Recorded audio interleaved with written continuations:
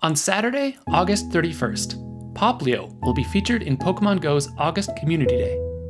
In this video, I will demonstrate and analyze the Popplio Excellent Throw, based on recordings I made of more than 10 excellent throws.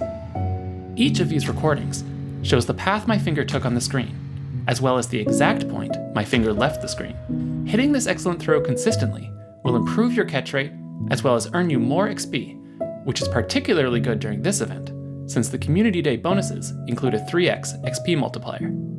This means that each catch with an excellent throw will be worth more than 3000 XP. There will also be a 2 times catch candy bonus and a 2 times chance of candy XL.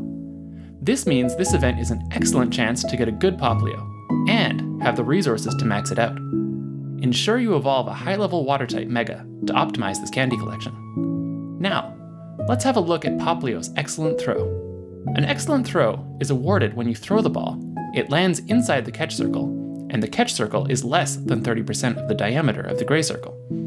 This diagram shows how small the catch circle needs to be to get an excellent throw on a Popplio.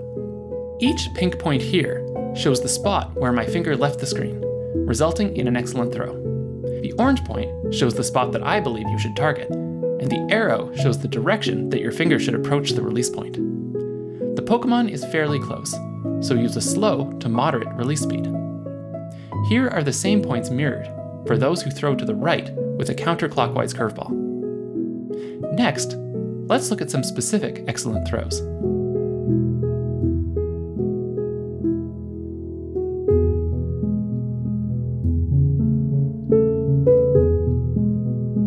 Thanks for watching. To see the rest of the Excellent Pokédex, please hit like and subscribe.